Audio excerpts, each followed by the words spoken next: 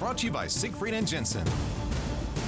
Hi there, everybody, and welcome to KSL Golf. Glad to have you aboard. We're at Stonebridge in West Valley. This Saturday, it's the Stonebridge Amateur. Nate Wonderly is your defending champ. He won in a playoff a year ago. Now, they still have spots available, so if you want to play in the Stonebridge Amateur, you can give him a call here at the Pro Shop to get your tee time. All right, let's get started with our Uinta Golf tip of the week. Now, when you pull out your wedges, do you even think about what kind of ball flight you want, whether you want it high or hit it low? Well, there's a reason that you want to hit it high or low, depending on the shot you want to hit. Here's Mark Wetzel to show you how to hit one of those high soft shots with your wedges so it'll come down and land softly on the green where you want it to. Today, let's talk about how we can hit the ball higher. And to me, yes, we want to hit the ball higher, especially when we come to the driver and whatnot. But when it comes to wedges, it's important to also make sure that you're flighting your ball, whether it's hitting it a little bit lower or hitting it a little bit higher. So as we try to hit the ball higher, the key is your setup. And, and what we're gonna do with that setup is very simple. We're gonna do two things to make sure that your setup dictates exactly how the flight of the ball is going to react. First and foremost, I've got two tees sitting here where my regular setup is with my wedge. I'm about 120 yards out and I've got a 50 degree wedge here. And I'm pretty much right in the center of my stance with a narrow with a narrow stance with my feet. And you can see that I've got my two tees of where my marker is. That's where I normally am going to be. When I'm trying to hit the ball just a little bit higher, I'm gonna put that ball a little bit more forward in my stance. Now, for some reason, when people think that they're putting the ball forward in their stance to hit it higher, they're moving that ball four and five inches. That's not what we wanna do. I've got this other golf ball right ahead of this first golf ball, my, my main golf ball. It's only about an inch and a half further than where my original golf ball is. So if I remove that, you can see where these two tees are.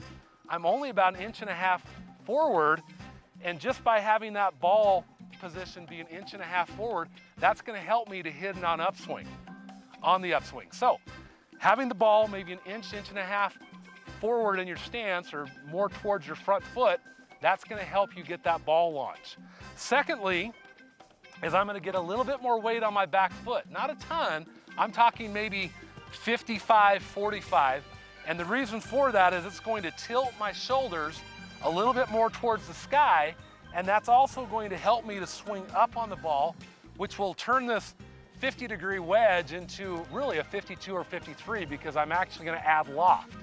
So by having the proper setup, having the ball forward, I'm now going to be able to swing up on that ball and have that nice high ball flight that I'm looking for with this pitching wedge.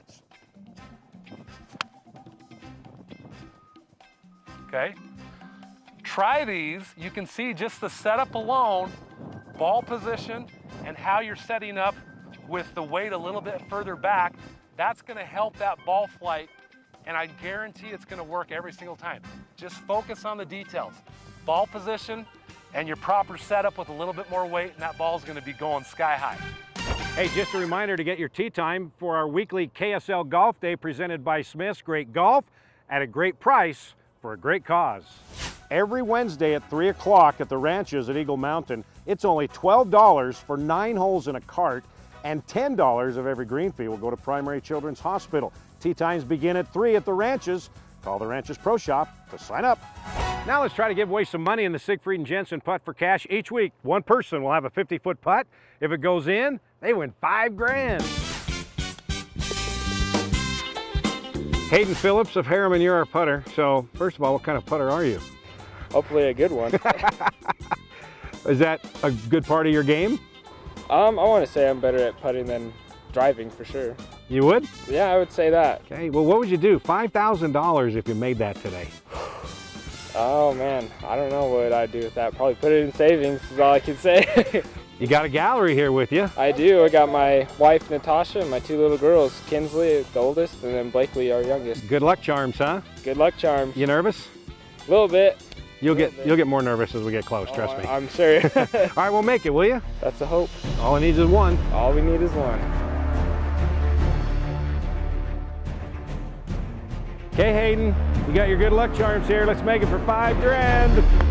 Whoa, whoa, whoa, whoa, whoa, whoa, whoa, whoa, whoa, Oh, there's the brake right, huh? It is. All right. A little too firm, a little too much. Hayden, you knocked it past 25 feet. I did. So let's uh, figure out what we're going to do here. At $100 a foot, you could have this putt for $2,500. Or, I don't even know why I want to ask you this question, you go back to 50 feet for half price for $2,500. Hmm. I'm gonna, I'm gonna think I'm playing it from here. I think I'd take 25 feet for 2,500, right? Let's see. Okay. See what we can do here. Okay, so let's have a little more finesse here on this one. Yeah, a little bit more. Okay. Get there. Oh, it broke on you at the last second. Well, you know what? You don't leave it short, Hayden. No. All right, bud. Well, hey, thanks for you. playing. yeah, it was fun.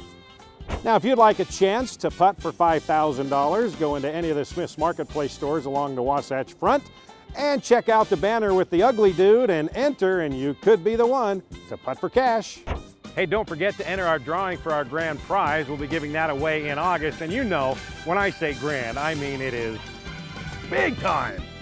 Free unlimited golf for all of next year at the ranches in Eagle Mountain, Coral Canyon, Sky Mountain, or Falcon Ridge in Mesquite. And we're also giving away a set of Cleveland Launcher CBX irons. Just go into any of the five Uinta Golf stores from Riverdale to St. George to enter. All right, time to take a break. When we come back, we'll find out what our forecast will be for our golf game next week. That's when KSL Golf, presented by Siegfried and Jensen, comes back to Stonebridge in West Valley.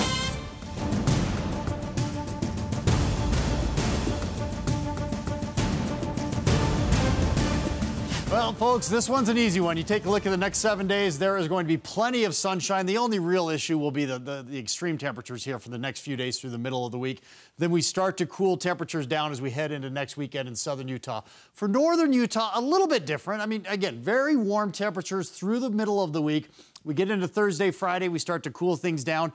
We could see a couple isolated thunderstorms rolling through on Saturday. At this point, I'm just going with lower temperatures and a few more clouds. Okay, thank you. Well, that'll do it for this week. We'll see you again next Sunday night. Remember, it's always better to hit it long and straight rather than short and crooked. See ya.